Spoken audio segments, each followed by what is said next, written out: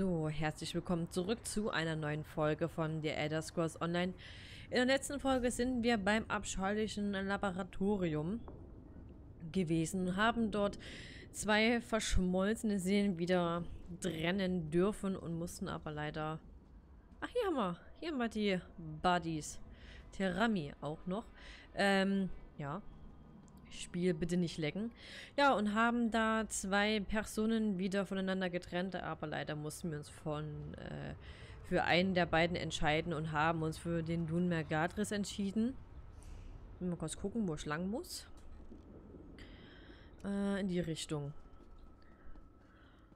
Ja, und wir haben, wie gesagt, den Dunmer Gadris gerettet und Sur ist jetzt für ewig und alle Tage verschollen, nicht mehr existent. Wenn ihr das Bündnis nicht daran gehindert hättet, Sadal zu beschwören, ja. wären wir jetzt alle tot. Ja. Ja, ja. Und das alles dank Tanwal Induril, der den Tod seines Sohnes nicht verkraften konnte. Und wir müssen hier raus, ne? Ist alles ein bisschen kompliziert hier in Kalthafen. Hier haben wir wenigstens noch eine Katze. Mm, ja, müssen wir auch noch ein bisschen Leben einfügen. Aber ich denke mal, das kriegt man jetzt so hoffentlich relativ schnell hin. Und bitte mal nicht lecken, Spiel. Was ist mit dir los? Okay. Oh, hier haben wir eine Art Leuchtturm. Also ich gehe davon aus, dass es eine Art Leuchtturm ist. Und das ist ein Spieler. Haben wir noch ein Pferde. Das sind nicht Pferdehof, aber ein Stall. Oh, was haben wir hier? Nichts. Gut, hier können wir gar nicht rein. Das ist natürlich sehr schön. Was ist das denn für ein Tier? Was ist das denn? Okay, das sieht ja gruselig aus. Ja, wo hatten... Ich hatte doch gerade hier irgendwo einen... Einen, äh, äh Genau, ein Questmark gesehen. Gwilier, okay. Gwilier. Was ist euer Begehr? Womit kann ich euch helfen? Der Turm der Lügen, oh, alles klar. Schrecklich. Was? Ich kann das schaffen. Wirklich. Alles, was ich tun muss, ist... Äh oh, wie mache ich denn da was vor? Ich kann es nicht schaffen. Auf gar keinen Fall. Warum habe ich je gedacht, dass ich es in die Kriegergilde schaffen würde? Was macht ihr hier draußen? Ich versuche mir zu überlegen, was ich als nächstes tue. Ich gehöre zur Kriegergilde. Wir wurden angegriffen. Von Dädra. Sie haben meine Kameraden gefangen. Sie haben sie in das Gefängnis dort unten gebracht. Ich bin nur ein Speer. Ich kann nicht gegen Dädra kämpfen. Aber ich wette, dass ihr es könnt. Wie gelangt man in dieses Gefängnis hinein? Es gab da ein Portal. Die Dädra haben es benutzt. Aber es ist verschwunden. Soweit ich das sehe, ist der einzige Weg dort hinein, ins Wasser hinunterzuspringen. Sucht nach Skordo. Oh, Skordo! Natürlich. Er ist ein großer Ork. Er weiß immer, was zu tun ist. Ich werde hineinspringen und die Kriegergilde helfen. Was würde ich nicht darum geben, an einem schönen, sicheren Ort zu sein? Vielleicht eine Taverne irgendwo. Warm. Einen Humpen Ale. Gute Gesellschaft. Stattdessen bin ich in Kalthafen. Wenn Molak Bals Diener mich nicht töten, wird Skordo es bestimmt tun.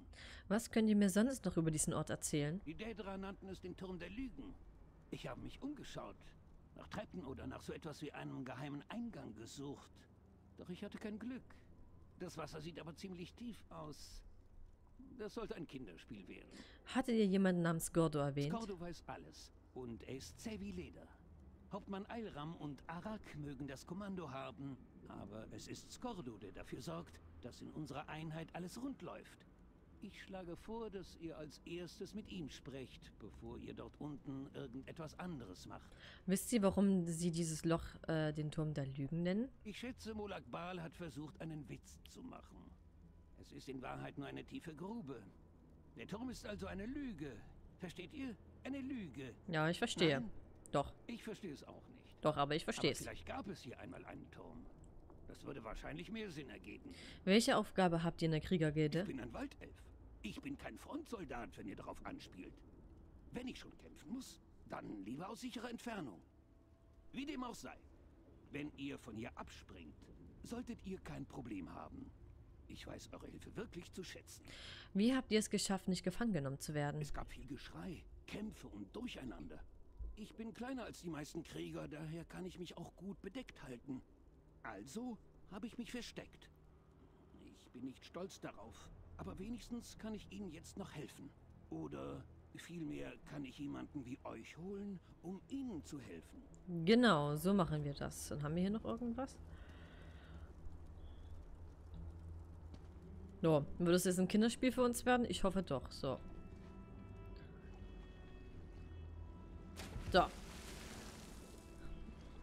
Ich würde mich mal interessieren, wenn man das wirklich jetzt im echten Leben machen würde. Dann würde man doch rein theoretisch sterben oder sich wenigstens was brechen. Bisur. Hallo Bisur. Und hier ist eine Harpyie. Hallo Skordo. Seid ihr wirklich gerade in diese Schleimgrube gesprungen? Ja, Ihr seid entweder ausgesprochen tapfer oder wirklich dumm. tapfer Meine bin ich. Ein wenig von beidem. Willi hat mich geschickt, um zu helfen. Natürlich hat er das, dieser magere Schwächling. Wenn er nicht wäre, würden wir gar nicht in diesem Schlamassel stecken. Ein Dremora-Magier hat hier das Sagen. Er trübt einem den Geist, bricht den Willen. Ich bekomme meine Soldaten einfach nicht in den Griff. Aber wie kann ich helfen? Die fetten Ogrim-Bastarde haben meine Freunde fortgeschleppt. Wir haben uns gemeinsam wie der Gilde gut. angeschlossen. Ach nee, den Es kenn ist ich gar schlimm, nicht. dass sie von Ogrim gefoltert werden. Ihr rettet Sinfei, Borgard und Vikord. Ich suche Aufseher Arus. Dann können wir beide uns seiner annehmen. Ein für alle Mal. Ich habe noch ein paar Fragen. Natürlich habt ihr das. Nur macht schnell. Wozu zwingen sie euch hier unten? Mich? Nicht viel. Niemand schubst Skordo herum. Aber die anderen? Sie klopfen so lange Steine, bis sie umfallen und von den Ogrim gequält werden. Manchen wird sogar die Seele herausgerissen. Es verwandelt sie in leere Hüllen. Ein solches Schicksal würde ich nicht einmal einem Elfen wünschen. Warum habt ihr nicht zu entkommen versucht? Sie haben es versucht, aber dieser Ort ist seltsam. Die meisten von uns haben aufgegeben und den nötigen Willen verloren, Widerstand zu leisten. Es hat nicht auf jeden die gleiche Wirkung, aber es erschwert das Organisieren. Vielleicht können wir sie aufheben, wenn ihr die Lage hier etwas aufmischt. Vielleicht. Kommen all diese Gefangenen von der Kriegergilde? Seht ihr die Glaskugel? Nein? Dann bin ich auch kein Hellseher. Es gibt hier unten einen Haufen Gefangene von überall her. Sogar eine Dremora. Oh. Ist wahrscheinlich Molak Bal auf die Füße getreten. Aber ich weiß es nicht genau. Und es schert mich auch nicht. Eine Tremora? Ist sie eine Gefangene? Nun, sie ist keine Wache. Aber falls sie eine Gefangene ist, dann machen ihr die Orgrim jedenfalls keine Scherereien. Um ehrlich zu sein, würde ich selbst gerne wissen, was mit ihr los ist. Mir ist aufgefallen, dass sie euch die ganze Zeit beobachtet, seitdem ihr in unsere kleine Feier hier hereingeplatzt seid. Mhm. Wie konnte sich so ein harter Kerl wie ihr gefangen lassen? Ich bin nicht der Einzige. Eine ganze Gruppe von uns wurde von den Dädra gefangen. Wir teleportierten uns nach Kalthafen, um gegen Molak Bal zu kämpfen. Hat der denn eigentlich für Schultern? Nicht unbedingt nach Plan. Wir sind hier unten, unsere Hauptleute dort oben. Wir stecken bis zum Hals in Orgrimdung. Seht ihr die Gla- Hm, ja, seht Tremora, Oh, könnt ihr doch etwas über diesen Ort erzählen? Es ist eine Gefängnisgrube. Ifris, der Ausfranser, hat hier das Sagen. Er liebt den Klang seiner eigenen Stimme. Sie haben uns aufgeteilt. Einige von uns sind hier unten, aber unsere Hauptleute, Eilram und Arak, sind oben. Ein verriegelter Gang trennt uns voneinander. Mhm, okay. Da weiß ich Bescheid. Und dann werden wir erstmal die Himmelsscheibe mitnehmen, bevor wir uns in das Getümmel stürzen und diese unbekannten Leute retten. Ich hoffe nur, Wigrud Gespenstertod finden wir hier auch noch irgendwo. Nicht, dass da jetzt doch irgendwie schon eher das Zeitliche gesegnet hat. Oh, hallo Gefangene. Hallo, hallo, hallo, hallo, hallo. Oh nein. Borgard ist anscheinend noch nicht sehr lange tot. Nein. Ich kenne ihn zwar nicht, aber... Hallo. Auch die Armen. Vor allen Dingen, warum müssen die denn hier an diesen Dingern hier klopfen? Da gibt es doch gar keinen Grund zum Hämmern. Oh. So, Orgrim. Du, Fettklops. Huch, ah, also nicht einfach so überrennen. Das finde ich sehr ungehobelt von euch.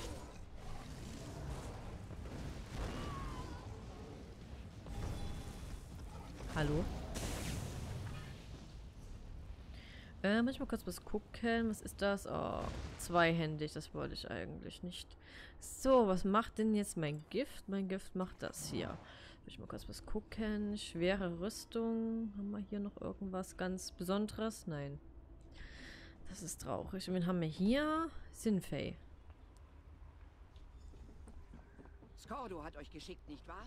Ja. Dem großen Vater sei Dank. Wer ist denn der, bei euch der große Vater? Genau. Würde ich auch sagen. Das macht ihr richtig. Ja das wäre auch sehr schön. Muss ich mal kurz gucken. Wie komme ich denn jetzt hier hoch? Ach nee, tiefer. Ich muss tiefer. Da muss ich mir gar nicht Gedanken machen, wie ich da hochkomme. Hallo. Eigentlich könnte mir Sinfei helfen, gegen die Orgrim zu kämpfen. Während euer Verstand sich klärt, versucht an eure Angst und euer Leiden zu denken. Ich habe aber keine Ängste. Und Schmerzen habe ich auch nicht oder irgendwelche Leiden. So, Schädelspalter. Dann spalt mal bitte ein paar Schädel. Mhm. Wir. Höher. Okay. Alles klar. Machen wir so. Wir müssen noch diese eine Detra irgendwie mal finden. Die ja ihre wunderschönen Augen auf uns gerichtet hat.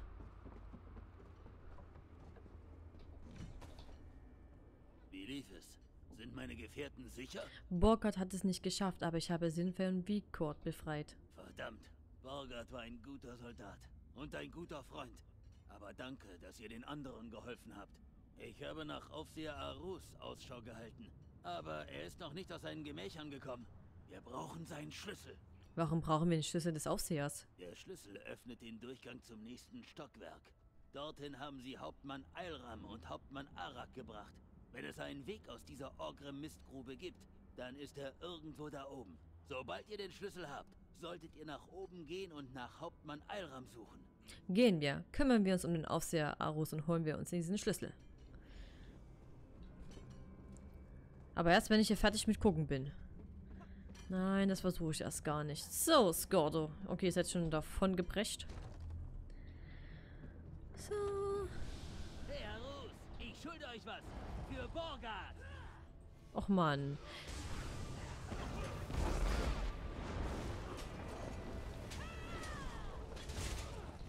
Na, der geht nicht so schnell down.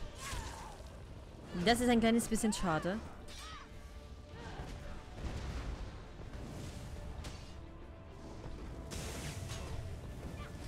So, noch ein bisschen Magika aufladen.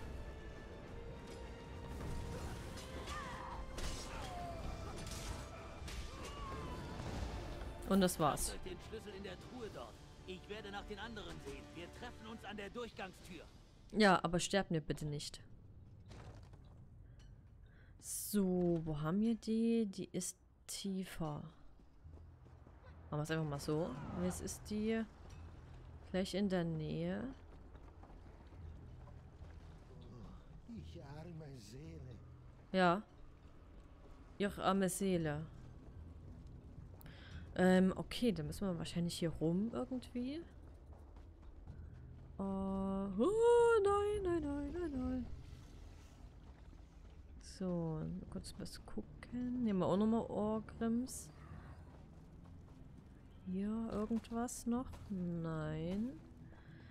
Ach, da. Schuftet für mich, meine Gäste. Schuftet für mich. Okay, und was mache ich jetzt? Den Durchgang einfach betreten. Okay. Ähm.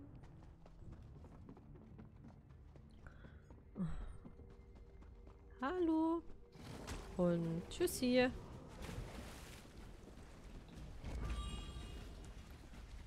Hallo. Und tschüss. Habe ich euch einfach so ausgetrickst.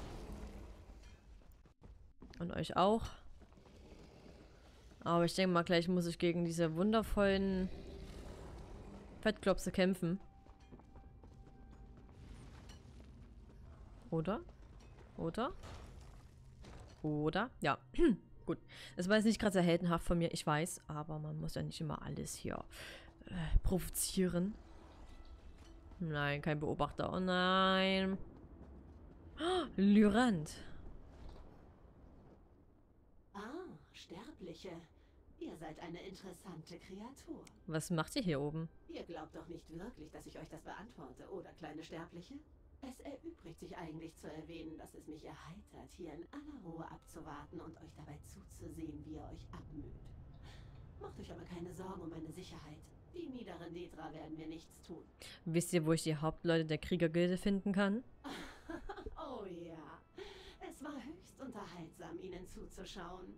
Sie kämpfen gegen die Fäden eines Netzes, das sie nicht sehen können, und das bringt mich zum Lachen. Ihr Sterblichen, ihr seid so leicht zu manipulieren. Was es doch für eine Freude ist, mit euch zu spielen. Ihr steckt also hinter all dem? Nein, kleine Sterbliche. Ich bin weder eine Gefängniswärterin noch ein Folterknecht. Ich bin einfach nur eine desinteressierte Zuschauerin, die ein winziges bisschen Freude an eurer Misere hat. Warum kümmert es euch, was mit mir geschieht? Selbst wenn ich mich euch erklären würde, bezweifle ich, dass ihr es verstündet. Die Politik im Reich des Vergessens übersteigt schlicht und ergreifend die Möglichkeiten des primitiven Verstands eines jeden Sterblichen. Danke für die Beleidigung. Könnt ihr mir helfen, die Kriegergilde zu befreien? Ich werde euch nicht daran hindern, meine teure Sterbliche. Betrachtet das fürs Erste als Hilfe. Oh, ist ja so großzügig. solltet ihr wissen. Der Ausgang dieses Ortes ist derzeit nicht verfügbar. Ich gehe fest davon aus, dass ihr dies jedoch schon in allernächster Zukunft ändern werdet. Okay, gut. Sehr schön. Freut mich. Wo muss ich denn jetzt lang? Höher. Okay, ich muss erstmal mit den Hauptleuten sprechen. Das kriege ich ja noch hin. Ohne mich in irgendwelche Kämpfe zu verwickeln. Spione. Überall sind Spione. Und Assassinen. Skordo hat mich auf die Suche nach euch geschickt. Skordo? Es könnte einer der Meuchelmörder von Arak Oh nein. sein. Ihr könntet einer ihrer Spione sein. Traut niemals einem Ork oder einer Spionin. Gesegneter Leki. Ich weiß einfach nicht mehr, wem oder was ich noch glauben soll. Dieser Ort setzt mir zu. Uns allen. Erstens, ich bin keine Spionin. Zweitens, ich bin hier, um zu helfen. Das würde jede gute Spionin auch behaupten. Es könnte nicht schaden, wenn ihr beweist, dass ihr keine Illusion seid oder eine Spionin. Ich sage euch was. Mein Schwert ist da drüben bei den Ogrim, die uns angegriffen haben. Holt mir mein Schwert und wir unterhalten uns. Trefft mich in der Nähe von Araks Lager. Aber ich habe ein paar Fragen. Dieser Ort, er verwirrt einem den Geist. Arak hat den Verstand verloren. Sie sagt, ich hätte ihren Stellvertreter getötet. Sie hat uns angegriffen und ist danach davongelaufen. Jetzt hat sie ihr eigenes Lager im Westen. Und sie schickt immer wieder Spione und Meuchelmörder los, um mich zu töten. Habt ihr mit Arak gesprochen? Bevor dieser Ort sie in den Wahnsinn getrieben hat, war Arak eine gute Freundin. Aber jetzt... Ich muss Arak wieder an Bord holen oder sie aus dem Weg schaffen. Dann kann ich hier alle herausholen. Ich werde zu ihr gehen und noch einmal mit ihr sprechen. Was ist so wichtig an eurem Schwert? Es ist mein Schwert. Und davor gehörte es meinem Vater. Ich habe es fallen lassen, während ich gegen einen der Ogrim kämpfte. Falls ihr keine Illusion seid, dann werdet ihr es für mich besorgen. Und wenn ihr doch eine Illusion seid, dann werdet ihr euch wohl auflösen. Und damit hat diese Sache dann eben auch ein Ende. Wie seid ihr auf diesem Stockwerk gelandet? Die Dremore haben uns hier runtergeschleift und aufgeteilt. Wahrscheinlich, weil wir so leichter zu kontrollieren sind. Mir ist zwar bewusst, dass die Dremora immer wieder versuchen, unseren Sinnen einen Streich zu spielen, aber die ständigen Qualen zehren dennoch an einem. Sie machen einen mürbe, bis man nicht mehr klar denken kann. Ja, und ihr seid wahrscheinlich ein bisschen paranoid, oder? So. Ein Gefangen, der Rucksack ist leer. Meine Güte. Oh, neues Rezept. Ein neues Rezept. Und jetzt müssen wir mal kurz gucken, wo haben wir denn hier das Schwert? Es ist hier weiter unten. Ja, komm, jetzt regt euch mal nicht gleich so auf. Alles ist gut. Und hier haben wir schon das Schwert.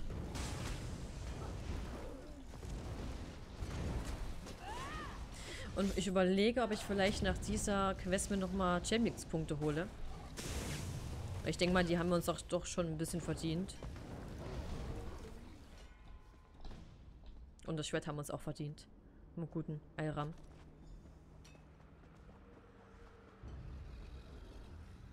Ist das höher? Das ist tiefer. Warum ist denn das jetzt tiefer?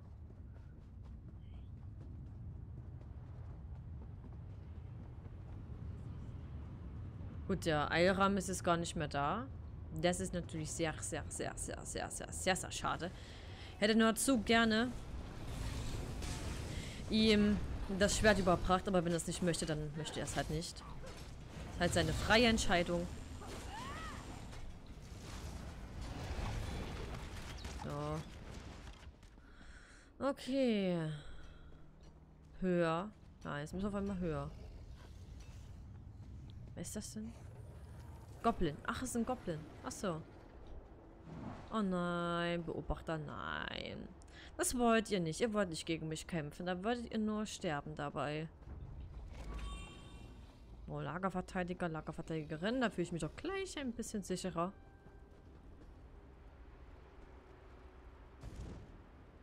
Jetzt ist er weg. Gut. Hallo, Gefangener. Oh, auch wieder eine neue Blaupause. Sehr schön. Ich schätze, dann seid ihr doch keine Illusion. Skordo hat auch für eure Existenz gebürgt. Er bürgt für nichts. Also müsst ihr ihn wirklich beeindruckt haben. Ich habe euer Schwert zurückgeholt. Ich hatte schon damit gerechnet, dass ihr es mir nicht gebt, sondern mich niederstecht. Es ist schwierig, an einem solchen Ort Vertrauen zu jemandem zu fassen. Doch wie ihr sehen könnt, entwickelt sich hier gerade ein Problem. Ara kann kaum davon ablassen, uns anzugreifen. Wir müssen diese Angelegenheit auf der Stelle bereinigen. Habt ihr irgendwelche Vorschläge, wie wir das schaffen könnten? Arak sagt, sie könne den Stimmen ohne ihren Helm nicht die Stirn bieten. Sie sagte, die Augen hätten ihn. Ich glaube, sie meint die Beobachter. Ja, das denke ich Vielleicht auch. wird der Helm sie beruhigen. Ich werde ihren Helm finden. Vielen Dank, dass ihr das tut. Sinfei wollte ihn selbst zurückholen.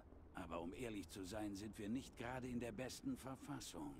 Keiner von uns könnte einen Kampf gegen einen Beobachter überleben. Ja, ein Glück habt ihr mich. So. Ah, jetzt wieder tiefer, aber ich hoffe mal, dass wir einfach mal hier jetzt irgendwie den Helm bekommen. Das wäre sehr schön. Oder muss ich jetzt hier wirklich ganz... Mm.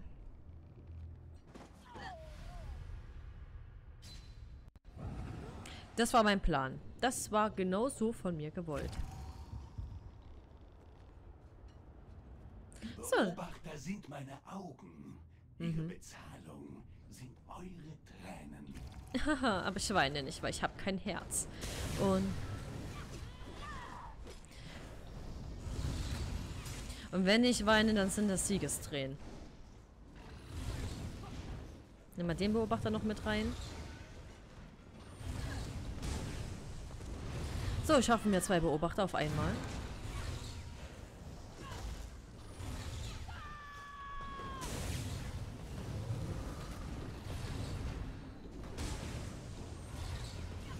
Na kommt her, meine kleinen süßen Schätzelein.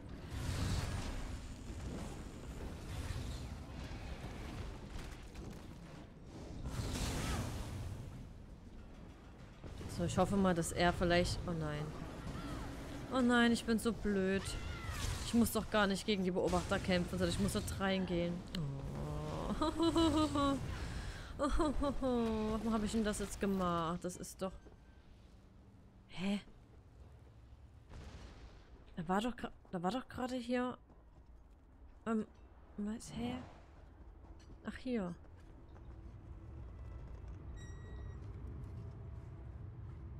War gerade ein kleines bisschen verwirrt. So, wie kommen wir denn jetzt wieder zu dieser komischen Arka?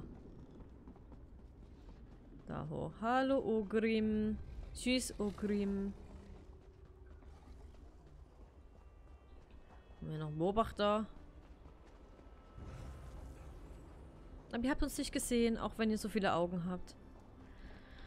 Ähm, so, jetzt müssen wir mal kurz gucken, wer uns jetzt hier noch folgt.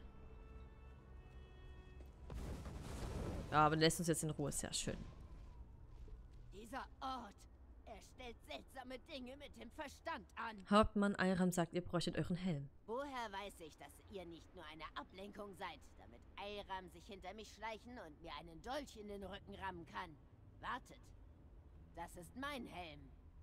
Ich bin so verwirrt.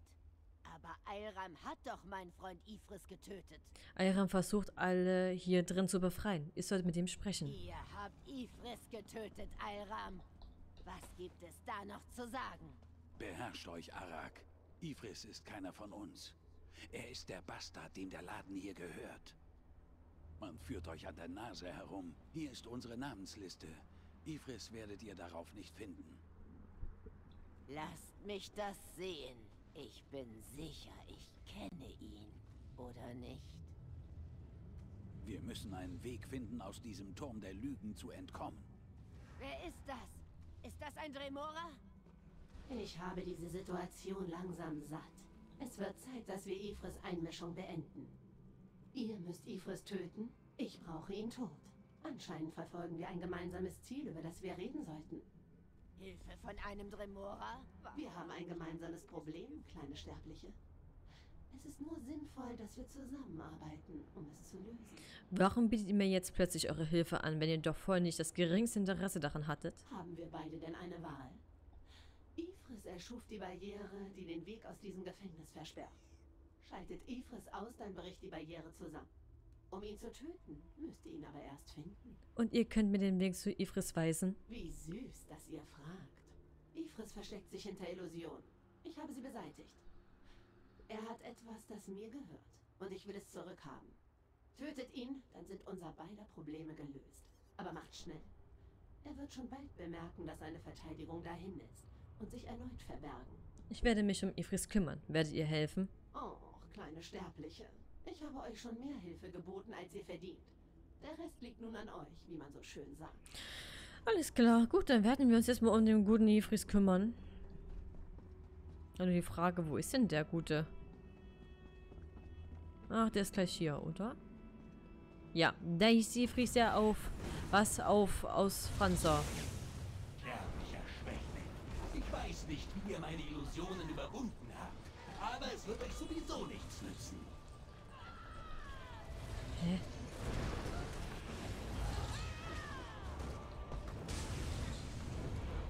Oh nein. Warum ist denn der so stark, der Beobachter? Nein. Schnell, schnell. Gut gemacht, kleine Sterbliche. Ihr habt Ifris getötet und ich musste nicht einmal einen Finger rühren. Herrlich. Ich denke, Ja. wir werden uns wiedersehen. Ich freue mich schon darauf zu sehen, in welchen Schlamassel ihr euch als nächstes bringt. Hallo. Nicht in diesem Ton, Tremora.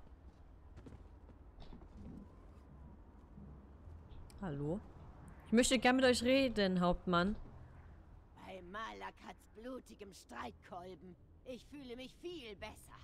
Die unerträgliche Wolke aus Angst und Verwirrung hat sich endlich gelüftet. Ich schätze, das habe ich euch zu verdanken. Ich habe Ifris getötet. Das dachte ich mir. Gleich nachdem die Barriere zusammenbrach, haben wir angefangen, Leute durch das Portal zu schicken. Es gibt eine Stadt in der Nähe. Wir haben sie gesehen, bevor wir gefangen genommen wurden. Wir werden uns dort neu gruppieren. Ihr solltet auch von hier verschwinden. Ich sorge nur dafür, dass die Nachzügler zum Portal kommen. Übrigens habt ihr Skordo schwer beeindruckt, was keine leichte Sache ist. Oho. Ihr findet ihn auf der anderen Seite. Er möchte mit euch sprechen. Mit Skordo sprechen. Verstanden. Sonst noch etwas, bevor ich gehe? Schaut euch den Kristall an, den wir entdeckt haben. Eilram glaubt, er könnte eines der Lichter von Meridia sein, von denen uns die Magiergilde erzählt hat. Wenn das der Fall ist, könnte er für unsere Bemühungen hier von unschätzbarem Wert sein. Okay. Dann werden wir es mal schauen. Aber ich kann mich jetzt gar nicht mehr so genau daran erinnern, ob das wirklich auch so relevant ist. Wie jetzt zum Beispiel Wutrat für... für Rift interessant gewesen ist. Ihr habt euren Kopf behalten und euch gut geschlagen, meine Freundin. Die Kriegergilde schuldet euch etwas. Bevor ihr geht, solltet ihr den Kristall dort drüben nehmen. Hab ich doch ich schon. bin kein Gelehrter, aber ich wette, es ist das Licht von Meridia. Deshalb behielt Ifris es wahrscheinlich hinter der Barriere. Ja, und jetzt ist es weg. Und ich würde sagen, in der nächsten Folge werden wir durch das Portal schreiten und mit unserem neuen Freund Gordon nochmal kurz sprechen. Und schauen, was er jetzt äh, noch ja, zu bereden hat. Und ja, wir werden höchstwahrscheinlich wieder hier hingeschickt. Dann werden wir uns wieder hier vorarbeiten. Dann hier oben irgendwie mal verlassenes Dorf. Ja, hier oben ankommen oder dann hier unten vielleicht erstmal kurz äh, mal vorbeischauen, bevor wir uns dann in Richtung Westen weiter begeben. Und das nehme ich auch mal weg. Ja, ich hoffe, die heutige Folge hat euch gefallen. Die ist ein bisschen länger geworden als die vorherigen Folgen, aber ich hoffe, das stört jetzt nicht allzu gemein. Und hoffe natürlich, dass ich euch in der nächsten Folge von The Elder Scrolls Online wieder mit begrüßen darf.